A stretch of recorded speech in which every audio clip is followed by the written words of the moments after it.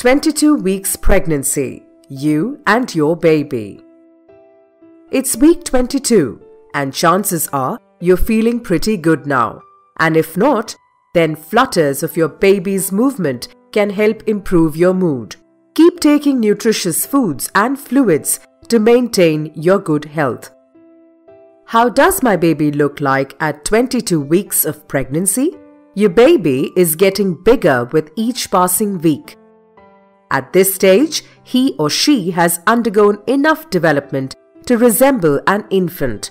Your baby still has to grow and he or she will continue to put on more weight. Now, your baby is about the size of a papaya.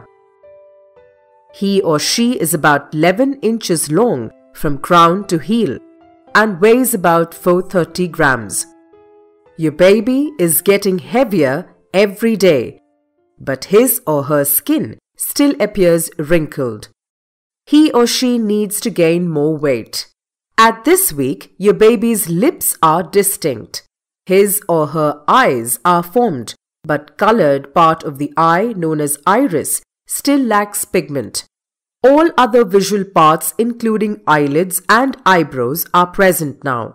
The pancreas, which plays an important role in production of hormones, is developing steadily at this week.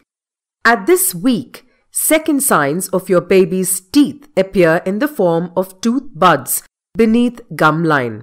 Soon after baby's birth, his or her second teeth will come through.